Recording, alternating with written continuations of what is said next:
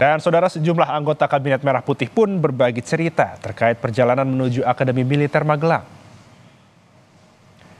Artis Raffi Ahmad yang kini menjadi salah satu utusan khusus Presiden mengunggah saat-saat perjalanannya bersama jajaran anggota kabinet lainnya. Begitu pula Menteri Keuangan Sri Mulyani yang sempat berpose di depan pesawat Hercules C-130J milik TNI AU. Lain lagi dengan Menteri ESDM Bahlil Lahadalia yang berfoto dengan seragam loreng dan diduga merupakan seragam untuk pembekalan.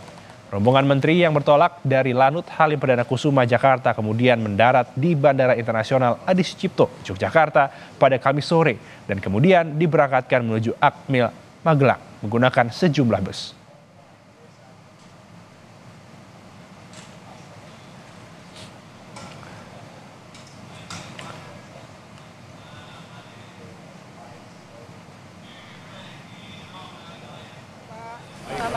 Pembekalan yang dirancang khusus oleh Presiden Prabowo Subianto salah satunya dilakukan lantaran Prabowo sangat mengutamakan kerjasama sebagai tim.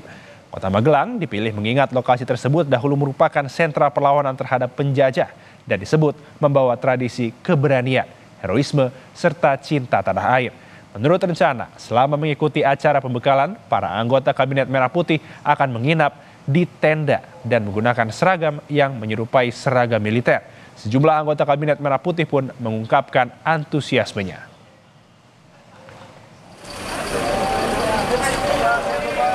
Pak Yusril sehat Pak.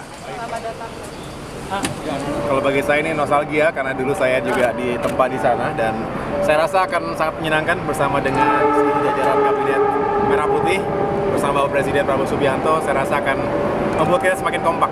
Tujuan kegiatannya untuk apa ini Pak? Ya ada pembekalan tentunya dan ya membuat kita semakin saling Kompak gitu Pak ya? mengenal satu sama lain, makin kompak dan makin makin solid lah gitu ya.